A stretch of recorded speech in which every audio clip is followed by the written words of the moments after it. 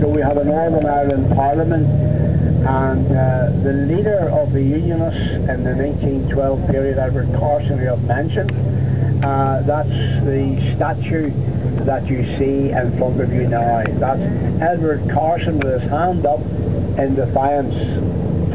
Uh, we